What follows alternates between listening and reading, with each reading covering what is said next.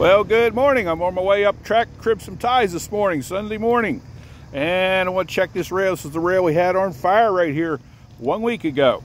Uh, I got my little uh, tip for the end of my drift pin, picked it up while I was here. I wanted to check this rail out. This is the rail that had all the uh, really blue spots on them. And uh, a lot of people commented on that. And I honestly don't know why it happened.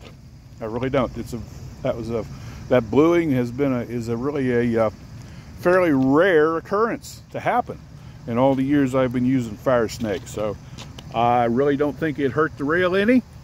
I told you to leave and it's all gone. So wanted to give you a little follow up on that. Thank you very much for watching and uh, I hope you have a really good day.